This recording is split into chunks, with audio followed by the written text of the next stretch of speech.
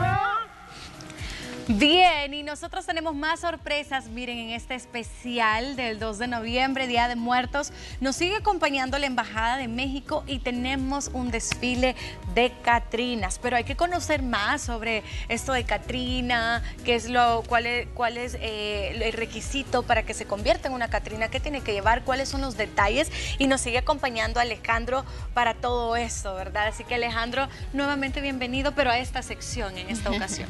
Muchas gracias sí, en efecto, eh, pues Catrina es, una palabra que deriva de Catrín, una persona que, es elegante, que viste de manera elegante, ¿no? Eh, que tiene presencia, ¿no? De ahí, de ahí se toma la palabra Catrina. Y generalmente la Catrina, eh, en los, por ejemplo, en los desfiles de Catrinas que se hacen en México, van acompañadas de su Catrín, es decir, eh, el, caballero puede ir con, un traje frac, incluso con un smoking, con sombrero de copa y debidamente eh, caracterizado de, de, Catrín también. Me Más gusta o menos, mucho. ¿Cuánto tiempo tiene esta tradición también de existir? Bien, como comentábamos en el segmento pasado, eh, en 1947 es que Diego Rivera pinta el mural Sueño de una tarde dominical en, la Alameda Central donde él eh, retoma los elementos eh, de, eh, de, la calavera garbancera, que fue producto del, del, caricaturista José Guadalupe Posada. Diego Rivera le, añade el vestido, es un vestido de la época por, este, victoriana. que en el caso de México fue durante la época del porfiriato, es decir, este, finales del siglo XIX y principios del siglo XX. Entonces habla de... Eh, es una crítica también, una crítica social de la época que, eh, hablaba de la gente que, eh, que rechazaba sus, orígenes, digamos, este, ancestrales y querían parecerse más a, lo, que estaba de moda, a lo europeo, ¿no? En este caso, pues toda esta moda que era la, ropa que provenía del Reino Unido, ¿no? este estilo, este estilo victoriano que se le, que se le conoce. Entonces por eso se retoma ese, ese, tipo de vestido.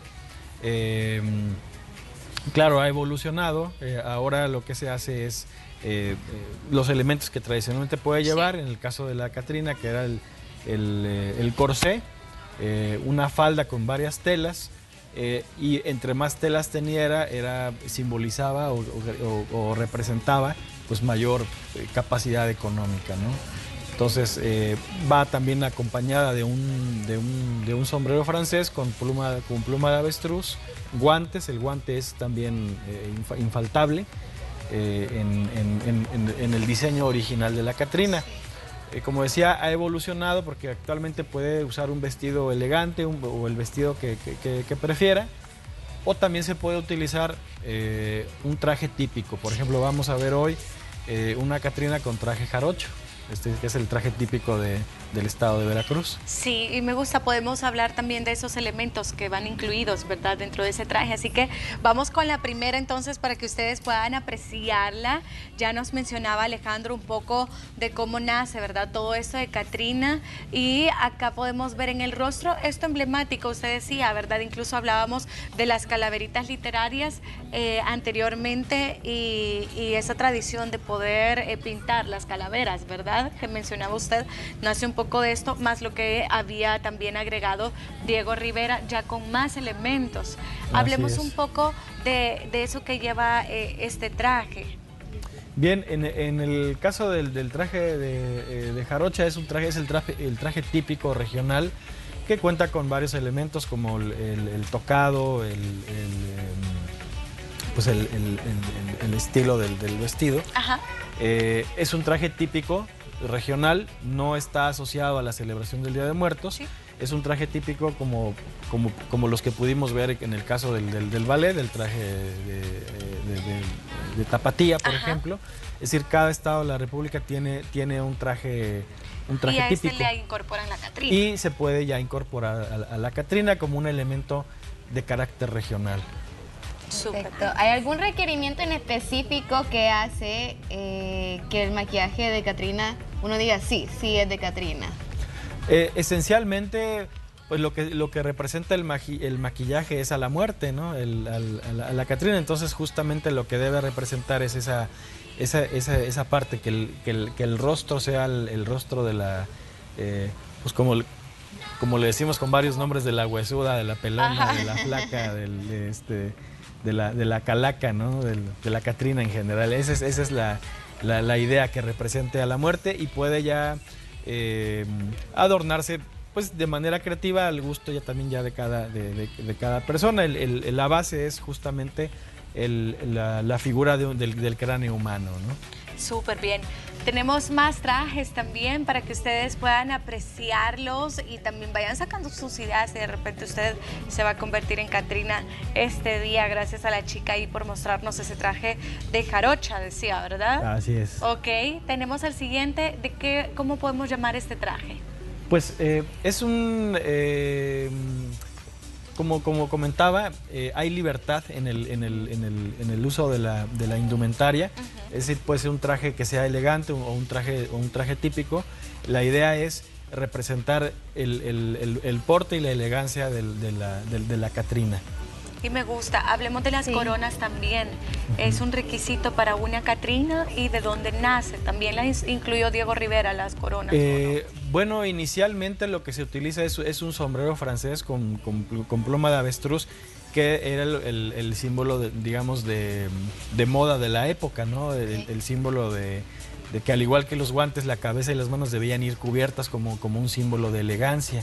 Okay. Eh, y que en la crítica que, se hacía en, la época era eh, que la persona podía, no podía tener eh, para comer, pero sí tenía su sombrero, su sombrero francés, ¿no? Hay, una frase que dice José Guadalupe Posada, muy, muy, muy cierta, decía él, en los huesos pero con sombrero francés con sus plumas de avestruz, decía José Guadalupe Posada. Era una crítica social en la época, ¿no? Claro ha, ido cambiando en el sentido de que ahora pues, se puede utilizar la, corona como, como un eh, adorno, como un implemento adicional a, la, decoración que se, que, se, realiza.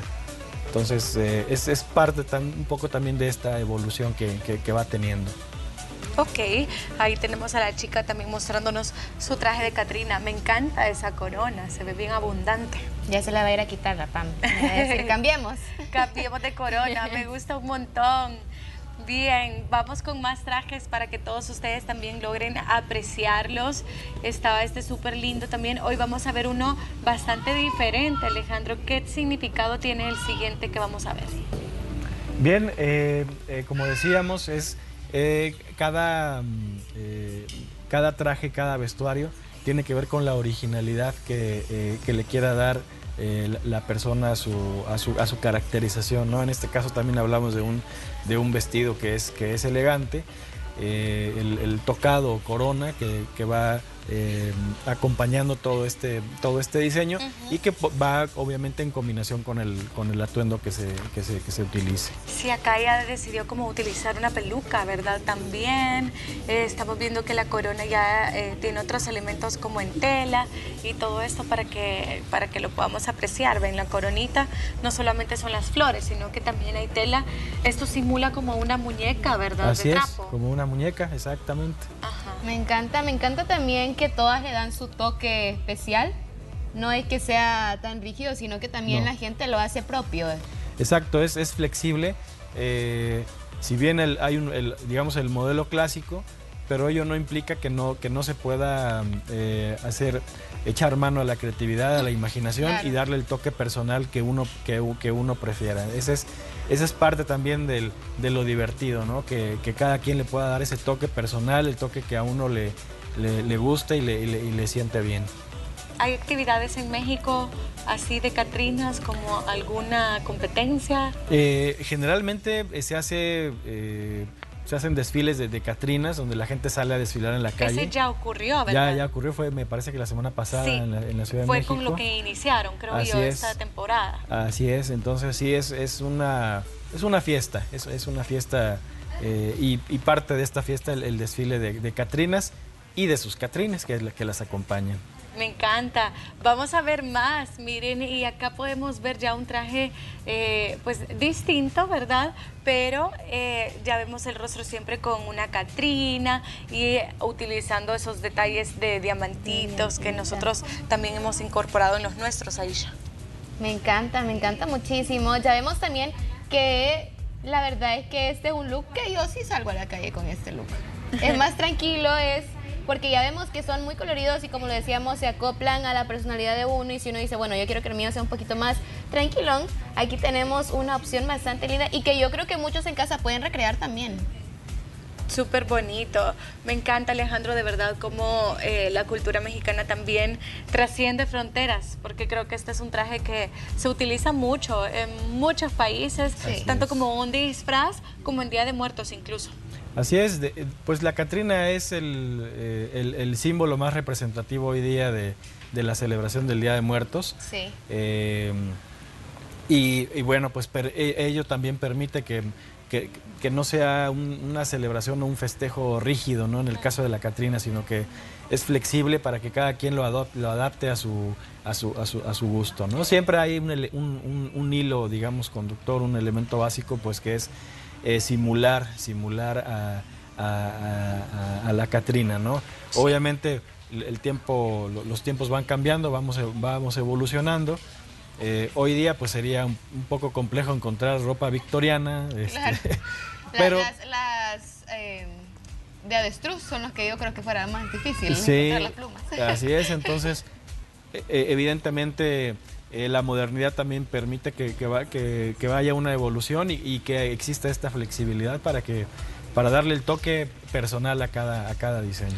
¿Vamos a poder seguir apreciando Catrinas con este evento que tienen ustedes como Embajada de México? Así es, el, sábado, el sábado 4 de noviembre, a las 4 y media tenemos un desfile de Catrinas.